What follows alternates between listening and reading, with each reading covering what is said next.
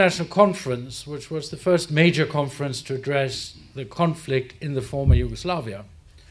That conference was held in the Queen Elizabeth Conference Center in London, and Kosovo received kind of an invitation, but it was rather unusually phrased.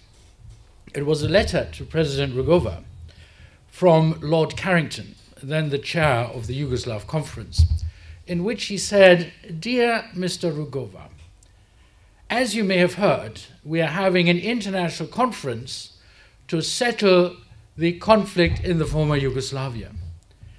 If you happen to be in London on day X, we would arrange for you to be admitted through the back door of the conference center and you would be permitted to occupy a salle d'écoute.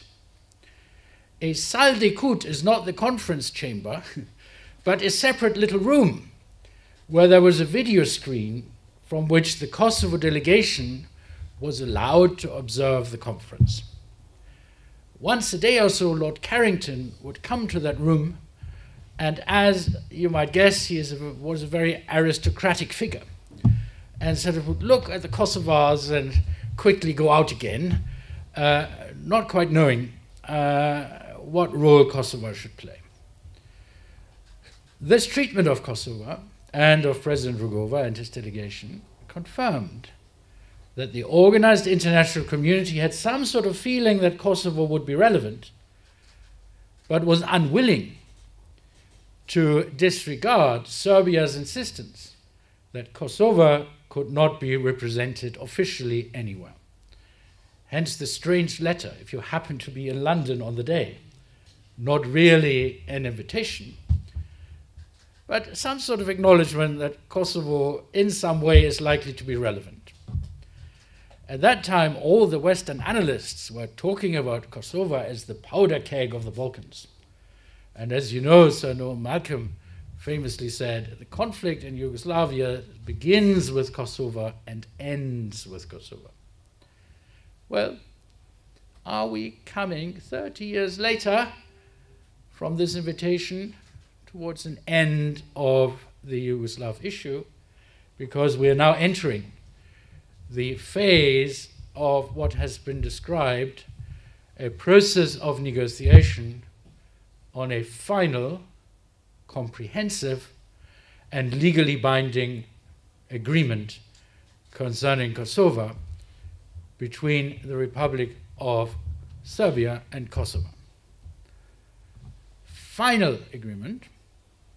Well, I have attended the final status negotiations on Kosovo, which was meant to be where and what? Vienna. I also attended the previous negotiations, which were in Rambouillet, um, where we were all locked up with some of my friends who still are active politicians in Kosovo at this point, to the extent of being presidents and others. Um, we were locked up in a French chateau for three weeks and were meant to emerge with a settlement of the Kosovo issue, which had benefits in term of, terms of certainly my waistline, which was vastly expanding over the time but which succeeded in terms of Kosovo constructively work, working towards a settlement, an interim settlement, whereas the Serb delegation was asking for a piano so that they could entertain themselves better in the chateau. Only at the very end did the work intensify and become serious. Then we had international administration, the Ahtisaari negotiations, which were formally termed negotiations on final status. And those negotiations uh, were premised on the assumption that either Serbia agrees a settlement with Kosovo, or if it doesn't agree, the UN Security Council, in the exercise of its powers under Chapter 7 of the United Nations Charter, will impose a settlement. But of course, over time it became clear that Russia would not allow such imposition and that the Republic of Serbia would not sign. This left Kosovo with the opportunity, nevertheless, to obtain statehood in almost a permissive environment. After Rambouillet, there was war. armed conflict over what Kosovo would be, involving the displacement, forcible displacement of nearly half of its population. The organized international community was then still talking about return to autonomy under Serbia. Vienna was different. Vienna was the acceptance that Kosovo will be a state, which is extremely difficult in the international system because the international system is made by statesmen and stateswomen who represent the existing states. And are they likely to agree a formula that makes it easy for parts of the state to become independent? Obviously not. So the international rules on how entities can become legally privileged in order to obtain statehood are very restrictive.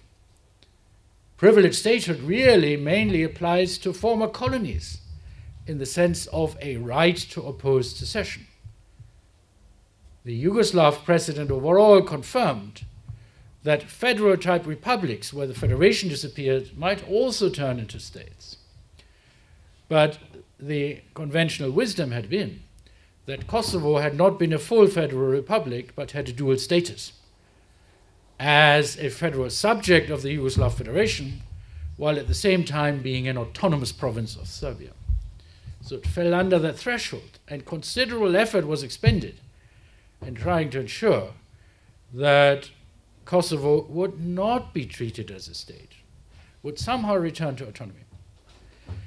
While I visited here, even during this visit, I've heard many former colleagues who negotiated with us in Vienna say Vienna was such a disappointment. We didn't achieve acknowledgement by Serbia of the statehood of Kosovo. My view is the opposite. Vienna opened the passport formally to statehood for Kosovo, to statehood that now nobody can doubt anymore. There's absolutely no argument that Kosovo is a state. Even those who haven't recognized it cannot deny its legal statehood. 115 or so states minus Palau yesterday, uh, have recognized. Yes, Kosovo hasn't yet achieved UN membership or membership in a whole host of other institutions, but it functions as a fully independent state. So, the gravest, most serious, most difficult part of the campaign was really achieved through the suffering of the people of Kosovo.